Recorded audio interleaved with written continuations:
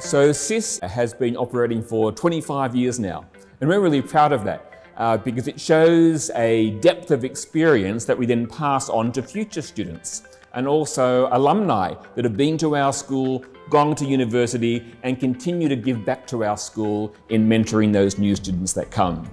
Uh, so we're, we're proud of that, but we are also looking forward.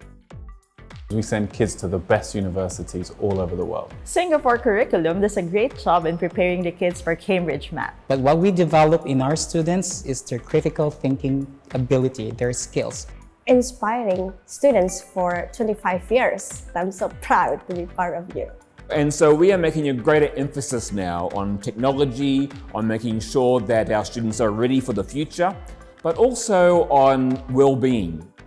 We've learnt through the pandemic that students have suffered with, without enough social interaction, uh, without enough care for their development socially and mentally and, and psychologically.